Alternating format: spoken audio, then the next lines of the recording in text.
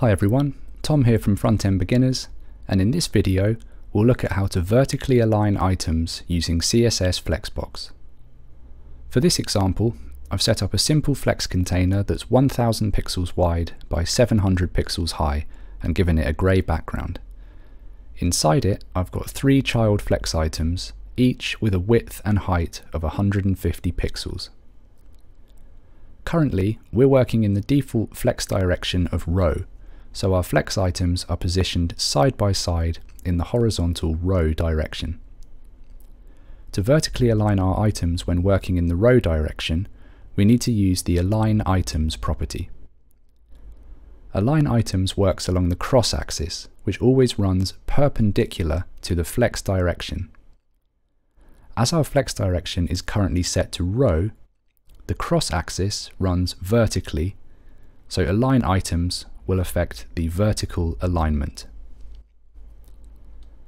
Align items accepts a number of values, including flex start, flex end, center, stretch, and baseline. By default, align items has a value of stretch, which stretches our flex items to the full height of the parent flex container. Because I've given my flex items an absolute height of 150 pixels, which we can see here in the CSS, this stretch behavior is overridden. If I remove this height from my CSS, you'll see that my flex items have now stretched to fit the height of the container. This is the default behavior. I'll put the height back into my CSS and move on to another value. The align items property is applied to the parent flex container. In our example here, I have a div with a class of container, so let's target our container div here in the CSS. Let's use an align items value of center. As we can see in the browser, our flex items are now centrally aligned along the vertical axis. Align items flex start will align items at the start or top of the vertical axis. When our flex items have a specified height, flex start becomes the default value. Flex end does the opposite and positions items at the end or bottom of the container. And baseline aligns items so that the baseline of the text is aligned. But this value only has an effect when items are of different heights or with different baselines, which is not the case in my example here. In the previous examples, all of our flex items are aligned together as a group.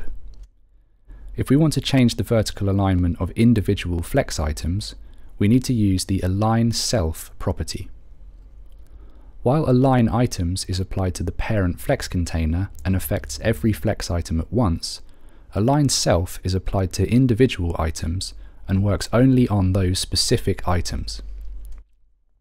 Let's begin by removing our align items property from our parent flex container and we'll start by targeting our second flex item.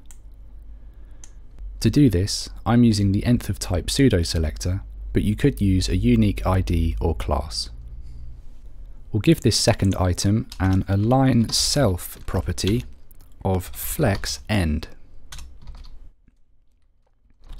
Looking in the browser, we can see that flex items 1 and 3 remain in the default position, but item 2 is now positioned at the bottom or end of the container. Going one step further, let's now target flex item 3 and give this an align self property of center.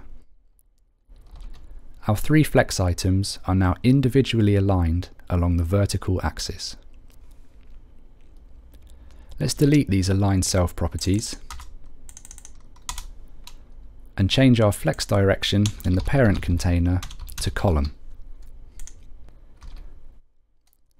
As the main axis always follows the flex direction and align items only works along the cross axis, we'll need to use a different property when working in the column direction. This time, we'll use justify content, which aligns flex items together along the main axis. justify content is applied to the parent flex container and accepts several values. The most likely choices are justify content flex start, which is the default position at the start or top of the container. Next, we have a value of center, which aligns items vertically together in the center of the vertical axis. And finally, flex end, which aligns items at the end or bottom of the vertical axis. When working with a flex direction of column, vertically aligning individual items along the main axis can be a little more challenging. Unlike the cross axis, where we have align self, there is no justify self property in CSS Flexbox that works along the main axis. To affect individual items, we need to use auto margins. Let's remove our justify content property for a moment so that everything returns back to its default position. As an example, let's imagine that we want items 1 and 2 positioned in this default flex start location at the top of the container, but we want item 3 down here at the bottom. To do this, we'd simply need to give item 3 a margin top value of auto. So we'll target our third flex item and give it a margin top of auto. As we can see in the browser, items 1 and 2 remain at the top of the container and item 3 is now at the bottom. This is because item 3 has an auto top margin, which is equal to all of the available free space along the vertical axis.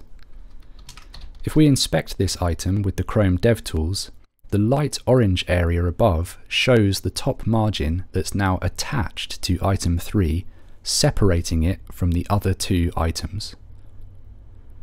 By separating items in this way using auto margins, we're able to creatively lay out our flex items along the main axis.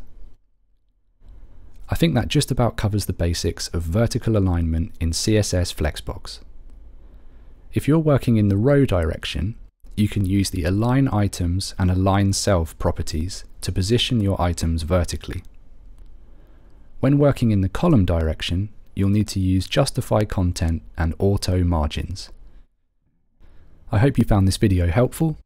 If you have any questions, please leave them in the comments below and I'll do my best to answer as soon as possible. Thanks for watching and see you in the next video.